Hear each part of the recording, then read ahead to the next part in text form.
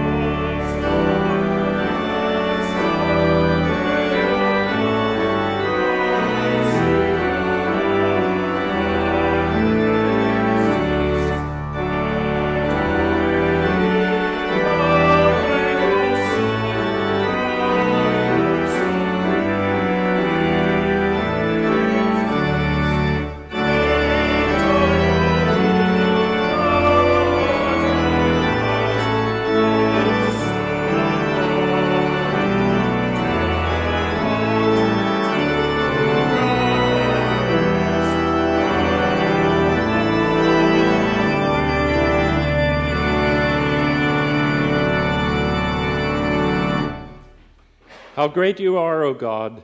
We praise you for your care of this world, for the bounty that you have given to us, for the mercy that you show us. We strive to love you with heart and mind, soul and strength. Amen.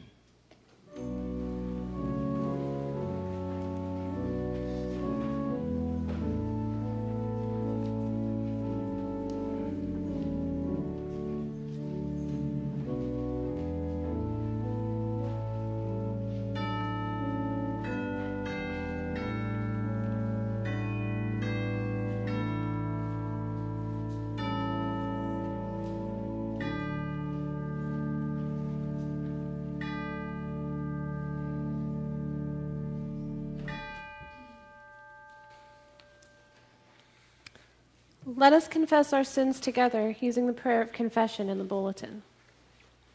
Eternal God, you call us to faith and not to anxious toil. We confess that we have not always lived by faith, nor have we known how to place our trust in you. Stress life in our hearts. minds, and bodies, and our lives become disordered like a chaotic world. We have not always responded to the needs of those around us, and sharp words have separated us from those we love.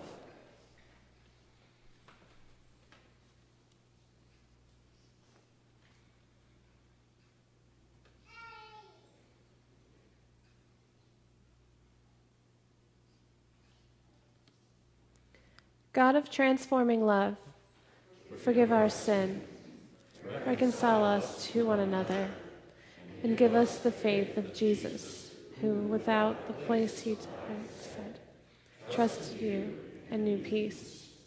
Amen. Since we are justified by faith, we have peace with God through our Lord Jesus Christ, through whom we have obtained access to this grace in which we stand, and we boast in our hope of sharing the glory of God. The peace of Christ be with you.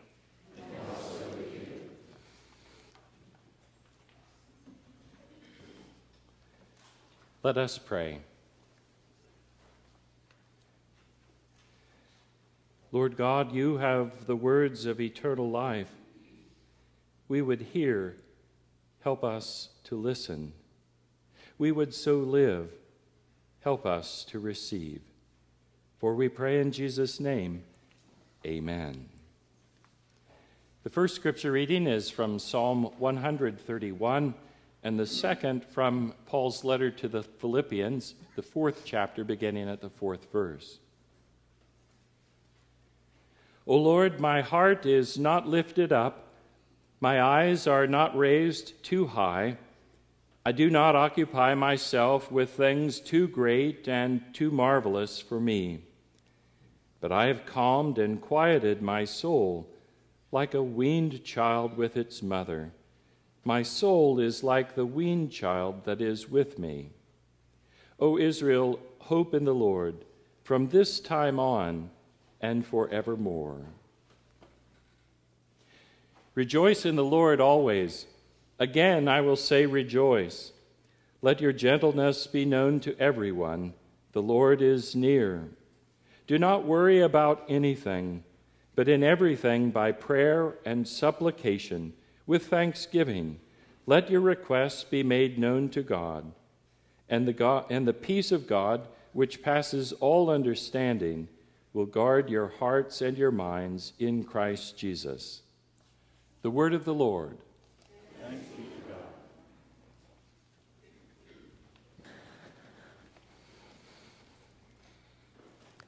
Children, would you like to join me on the stairs?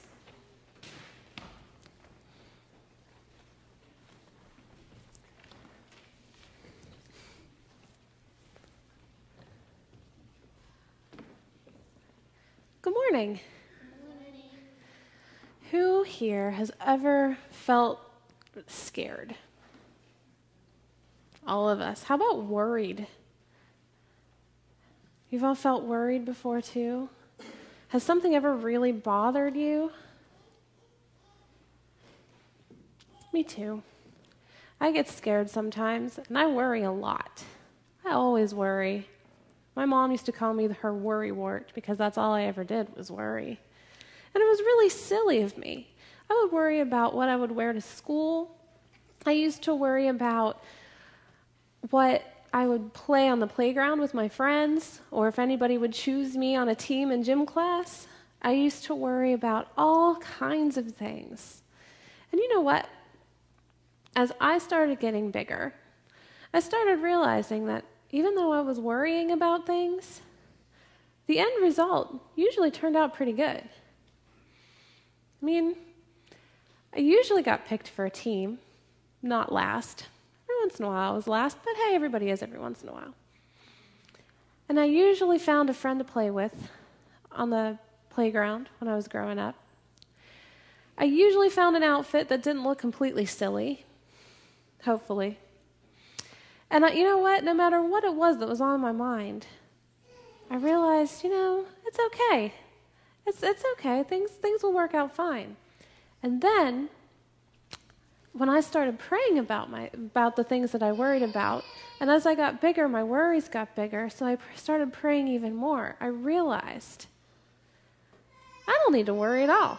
I don't need to be afraid of things because Jesus made a really awesome promise. He promised to always be with us, no matter what. And He sent the Holy Spirit to live in my heart and your hearts too. And because of that, God is always with me.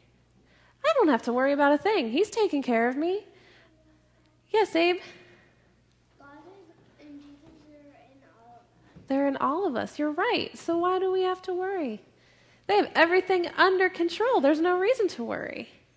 So I've decided that I need to stop worrying so much. It's not doing me any good. God's got it all under control, and that gives me such a peace inside because I know no matter what I worry about, God's going to handle it and it's going to turn out okay. Let's pray about that. God, we thank you for the awesome peace of having the Holy Spirit in our hearts and having you with us every day through any challenge, through any worry, and, the, and for the, the comfort and peace of knowing that no matter what, you've got this and we'll be okay. In Jesus' name we pray. Amen.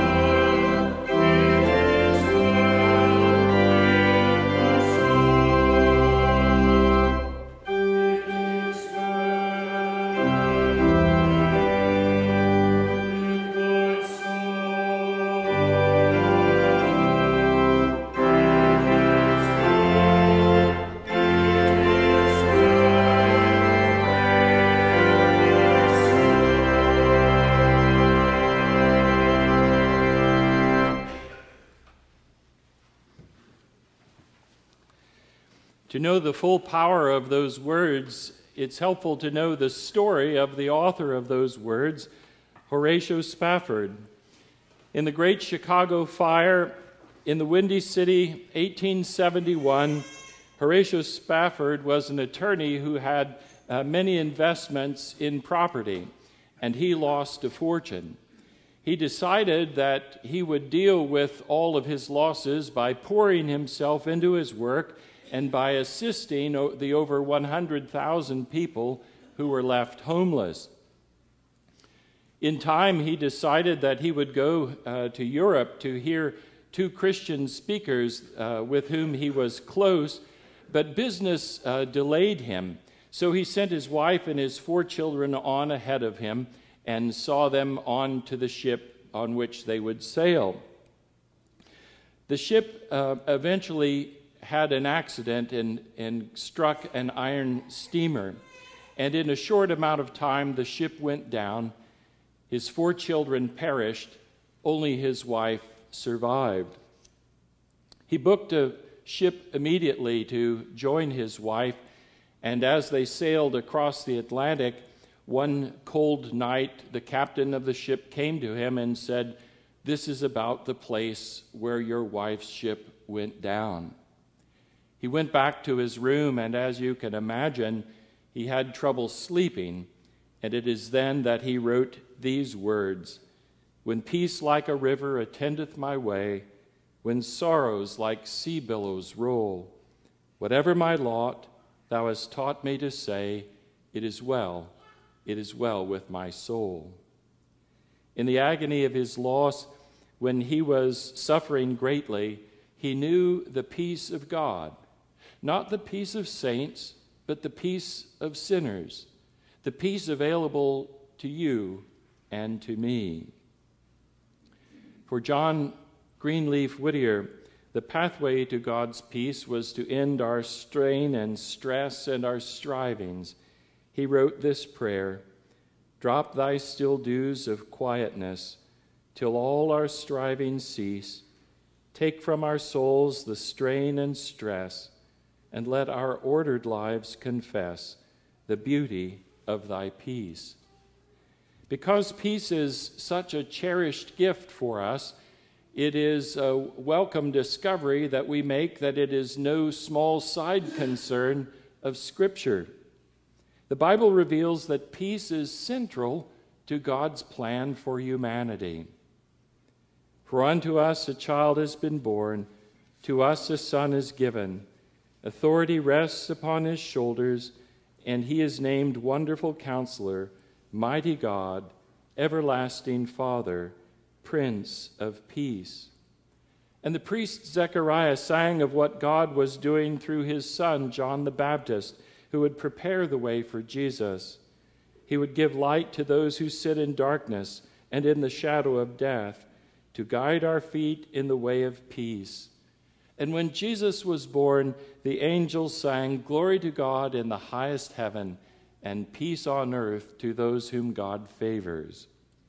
This leads us to the first truth of Scripture about peace. Authentic peace comes from God. As the psalmist affirms, the Lord will bless his people with peace. And Jesus taught, I've said this to you so that in me you may have peace. In the world you face persecution, but take courage, I have conquered the world. And the night before his arrest, Jesus said, Peace I leave with you, my peace I give to you. Not as the world gives, do I give to you. Do not let your hearts be troubled, neither let them be afraid. We would all likely agree that those words describe peace as we envision it. Neither let our hearts be troubled, or neither let them be afraid. But the context of Jesus' saying was that he was about to suffer and to die. This leads us to the second truth of Scripture about peace. God's peace is not dependent upon the physical or material circumstances of our lives. Think about it. From a human point of view, we think peace comes when all is going well.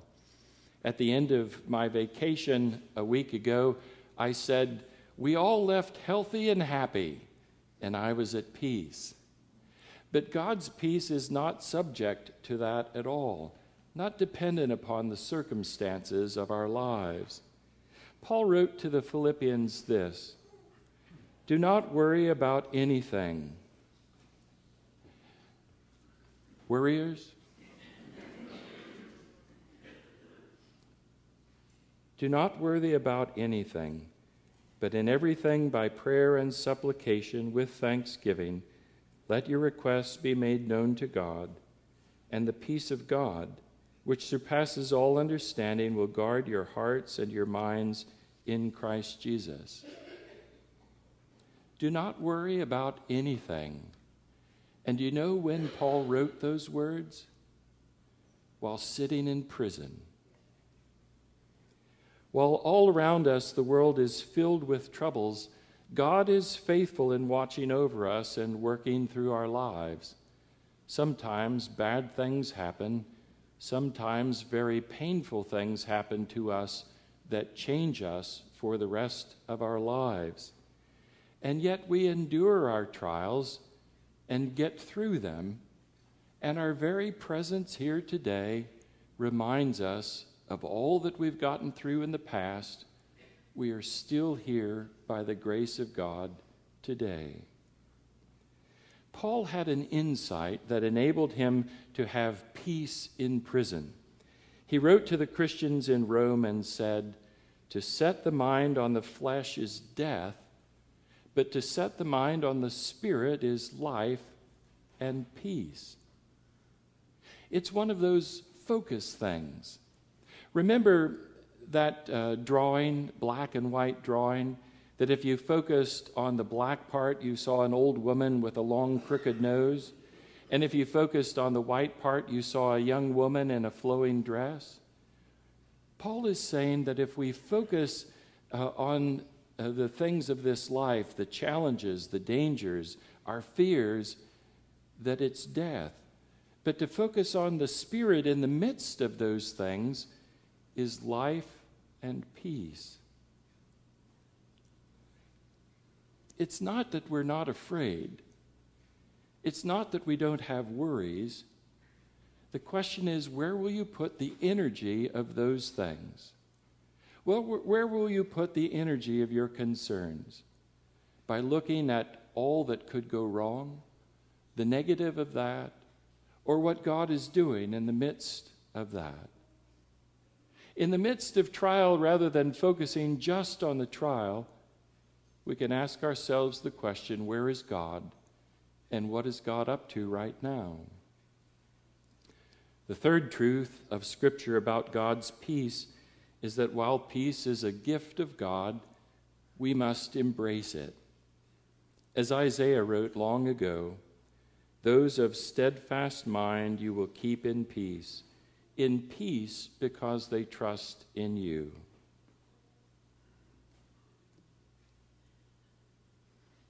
So, my confession is that in the midst of the trials of my life, it's not like I was at peace and that you would look at me and say, Now there's a man of peace. Or it's likely that you would not have said, Look at that man, how strong his faith is. You probably would have said, Look at that guy, he's shaking in his boots. But then the issue is, what do we do with that? Do we continue to focus on the fear or allow that to have full reign in our lives? Or do we use that energy to turn to God and to trust God's presence and work in our lives? God's peace can be known more by all of us when we realize that we are God's children. We're not solitary creatures left to struggle through this world on our own abilities. We are the beloved children of God, claimed in baptism, nurtured by God in the Lord's Supper, empowered by God through the gifts of the Spirit, gifted by God for acts of service, led by God for love of neighbor, shepherded by God through the darkest valleys of our lives, and one day shepherded from this life to eternal life. Embracing Scripture's story as our story, we realize more and more that our life is caught up and secure in God. Knowing that we are safely in God's care and that God is at work in us, trials become moments for learning and maturing. Challenges become ways to grow in our trust for God. Painful experiences draw us closer to God, and in time, we discover God's loving work within us. As the psalmist discovered, we can calm and quiet our souls by trusting in God.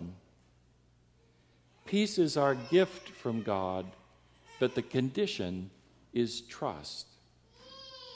Remember John Lennon's lyrics?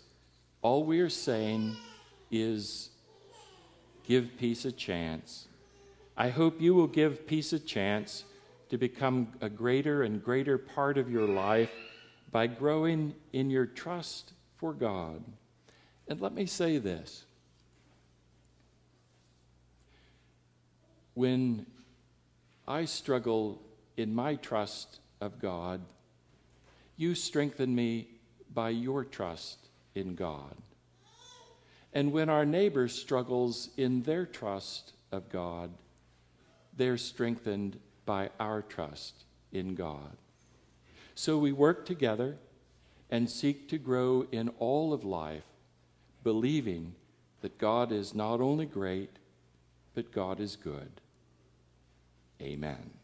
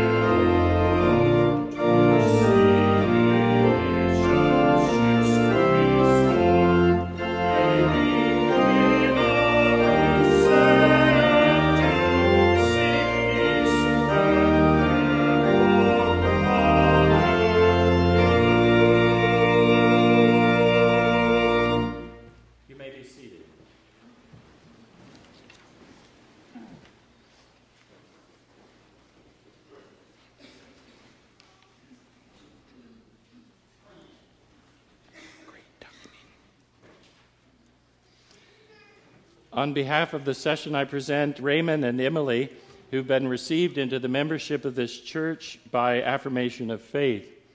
You come to us as members of the one holy Catholic Church into which you were baptized and by which you have been nurtured.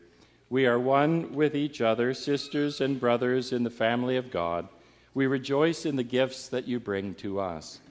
As you join with us in the worship and service of this congregation, it's fitting that together we reaffirm the covenant into which we were baptized, claiming again the promises of God which are ours in baptism.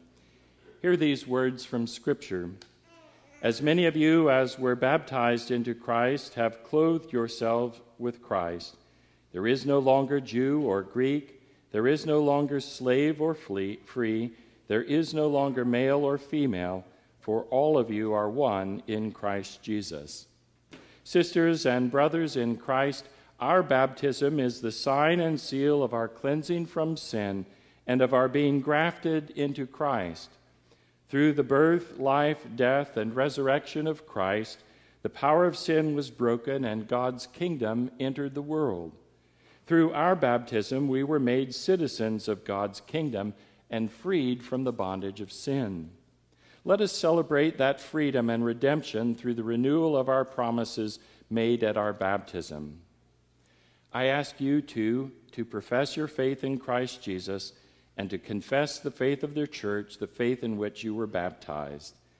Who is your Lord and Savior? Do you trust in him?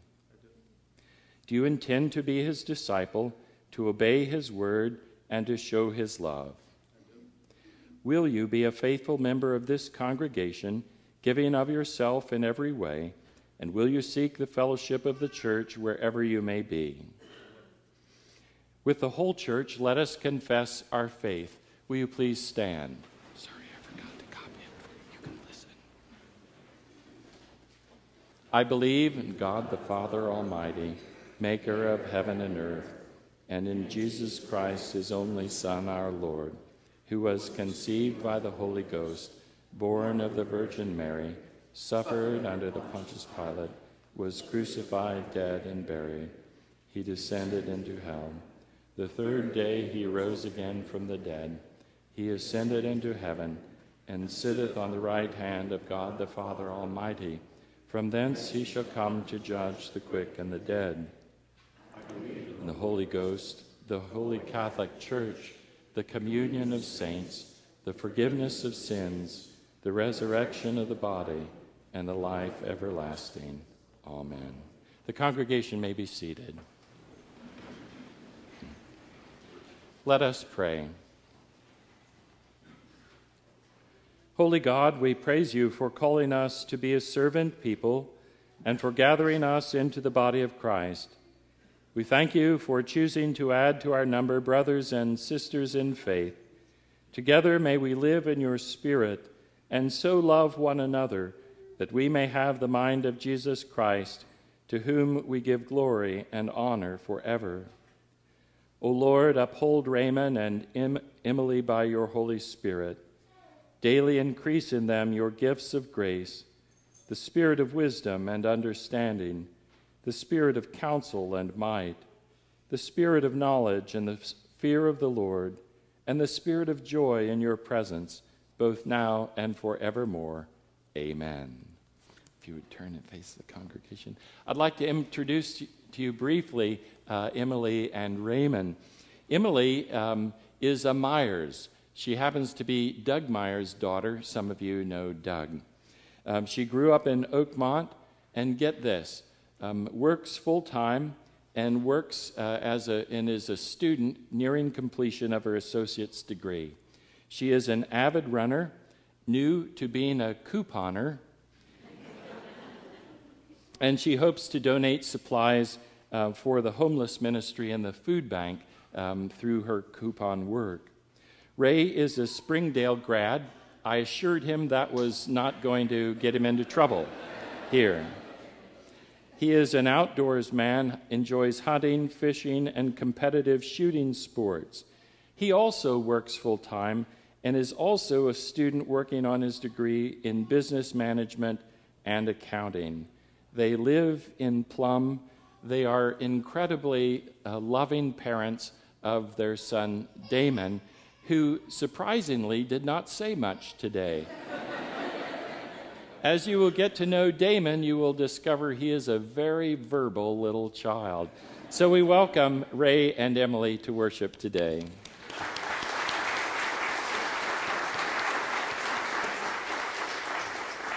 Let us pray. Lord God, we thank you for calling us into the company of those who trust in Christ and seek to obey his will. You have made us strangers no longer, but pilgrims together on the way to your kingdom. Guide us closer to you and to one another in the unity of the Spirit, that our common commitment to this congregation um, strengthen us together for mission and service in your world. Through Jesus Christ our Lord. Amen. Welcome. Glad you're here. Welcome. It's amazing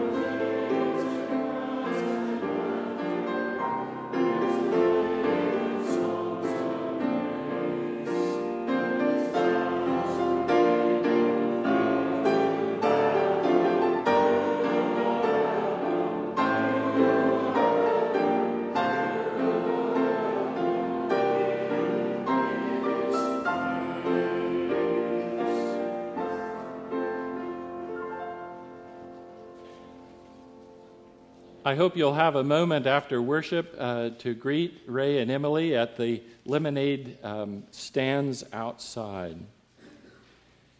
We've been asked to pray for Kyle Craig, and I would add uh, his father and mother, Jim and Sue, for Paul and for Kathy, for John, who is having a medical procedure on Wednesday. We'll pray for a good outcome for the mission team in um, Peru, and for Adam Veda, who's recovering uh, from a number of medical issues. Uh, he's recovering at the Willows.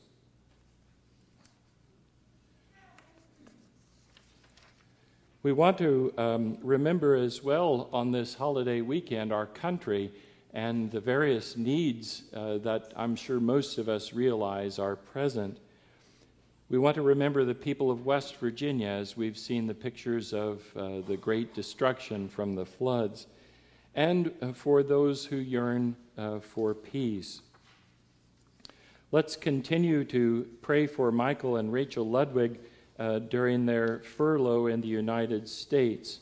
Some of you who received the uh, email prayer requests have seen the picture of this little guy, uh, Kathleen Schutz's nephew and uh, we've been praying for him. There are copies of this in the vestibule.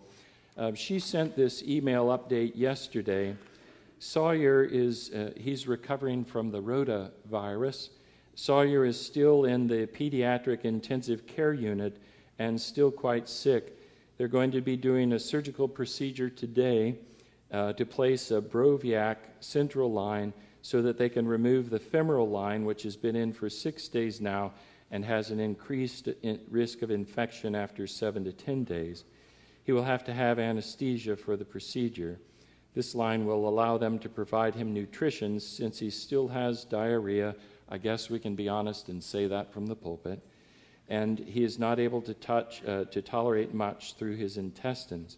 However, he does seem to be feeling better, and we were able to get a smile from him yesterday for the first time in over a week. Uh, Kathleen says, I'm planning to drive back to Pennsylvania uh, today and will be bringing uh, the little boy's siblings, Simon and Sylvia, um, to stay with their grandparents in Butler. We appreciate your continued prayers. And also to report that Bugs Bagamary is making progress. Uh, Marcia sent an email update that said he's graduated from a walker to a cane, and she's greatly encouraged. So we give thanks for his progress. Let us pray. Loving God, we give you thanks for this beautiful day and for the blessings of summer, for the morning sounds of birds, for the flicker of fireflies in the night. We give you thanks for the summer activities like leisurely walks. We thank you for our brothers and sisters in Christ in our church. We thank you for the newest members and for those of long standing, for the young and the old, and for all in between, for the fellowship of love that we enjoy, the fellowship that new, you nurture among us, we offer our thanksgivings.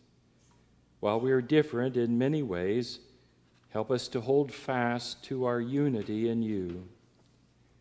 Today we've spoken of your Spirit's gift of peace in the changes and challenges of life. Help us to embrace your peace and to live in it. Some today are gripped by fear in their hearts. Lord, remind us all that you are the Good Shepherd who promises to lead us through our trials. And with such trust in you, enable us to live with real hope that surely goodness and mercy shall follow us all the days of our life as we dwell in your house forever. Confident of your care for us, we pray for the needs of the world, for those who suffer and feel despair, for all who work for peace in the midst of violence, for soldiers, police officers, and all citizens who endure risk for our safety. On this national holiday, we pray for our country. Almighty God, you have given this good land as our heritage. Mindful of your great generosity, nourish in us the desire to do your will. God, you know the problems that we face in this country. We know the different uh, thoughts about ways to solve them. We know the divisions that come from us as we consider the ways forward. We pray, Lord, save us from such deep divisions that put our nation at risk. Help us to be a nation where people of many different languages, many different heritage, are united as one people who share a common vision of freedom and justice and liberty for all. Make us an example and an inspiration to peoples and nations around the world. Make us stronger together, Lord, and use us for the good of your world. All of this we pray in Jesus' name, even as he taught us to pray together, saying, Our Father, who art in heaven, hallowed be thy name. Thy kingdom come, thy will be done, on earth as it is in heaven. Give us this day our daily bread, and forgive us our debts as we forgive our debtors. And lead us not into temptation, but deliver us from evil. For thine is the kingdom, and the power, and the glory forever. Amen. It seems like such a small thing that we do when we place our offerings in the offering plates. But behind that action is the awareness of all that God has given to us and our gratitude for God's blessings to us. So let us now bring our tithes and offerings.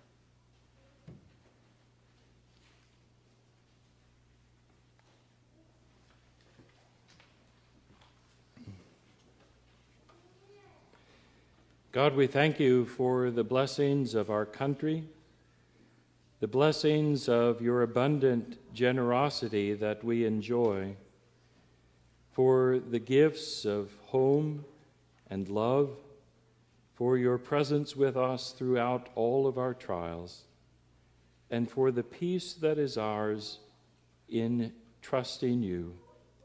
O oh God, we dedicate these gifts that your peace may reign not only in this place, but as far as you reach, give us reach into your world. We pray this in Jesus' name. Amen.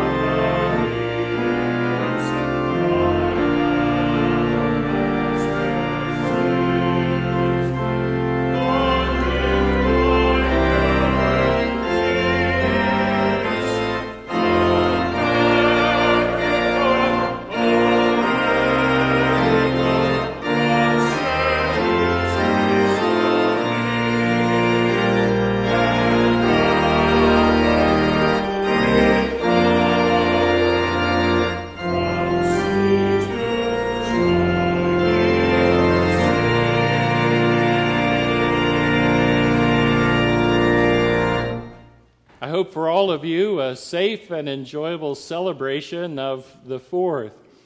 And as we think about God's gift of peace, I would encourage you in two ways. The first is be aware of those things that you do that undercut your own peace so that you may avoid them. If you're traveling, stay close to the speed limit and avoid the anxiety of getting uh, possibly getting a speeding ticket. I was thinking if you're a student, avoid the anxiety and fear of tests by studying in advance. So um, try to be mindful of anything that you may do that brings turmoil and anxiety into your own life. And the second thing is to remember ways in which God has seen you through in the past. I'm guessing every one of us here has faced a difficult time in the past and thought that we might not survive and life might never be good again, only to be here today once again going forward.